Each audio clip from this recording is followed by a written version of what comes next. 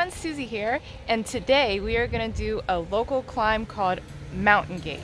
Now, last year, a former pro cyclist named Phil Gaimon used this climb to do his Everesting record. Now, Everesting is when you bike the same elevation as Mount Everest, which is about 29,000 feet or 9,000 meters. So he did, he went up and down this road over 60 times. We're gonna do it once. So let's go.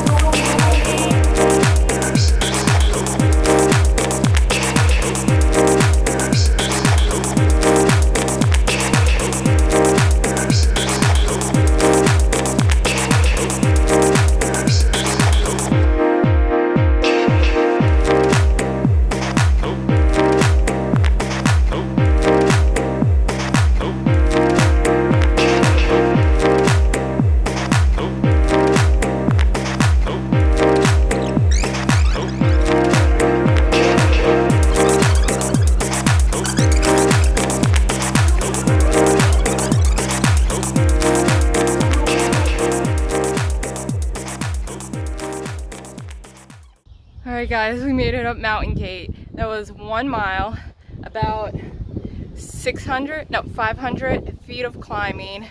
It was like double digits the whole time. Maxed out above 14, a little above 14%. But this is what we get to go come to.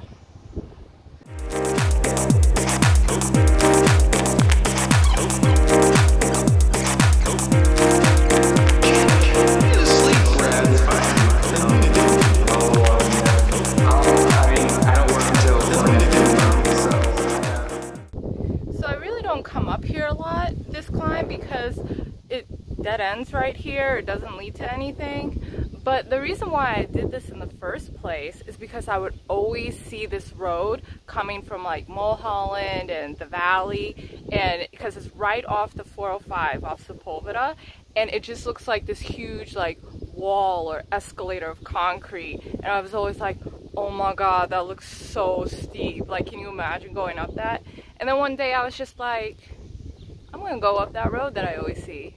And I got mentally prepared and I did it. And I was like, see, that's not that bad. And man, biking is full of life lessons, right? Alright, so we're gonna go back now, pretty much the same way we came. And as tough as this climb is coming up, it is kind of terrifying going down. So I'm glad that I got my brakes checked and fixed recently. And so yeah, I'm gonna be on them going down there. So let's go.